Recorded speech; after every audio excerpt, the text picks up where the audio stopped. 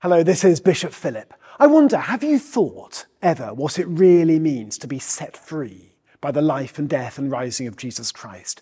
Have you ever really thought what it means to share that freedom with others? If you've ever asked yourself those kind of questions, I hope you can join me on our Lent course this year, which is called Journey into Freedom. During five sessions, we'll be looking at the book of Exodus and how, in setting the Israelites free, God points us to what it means for us to be free.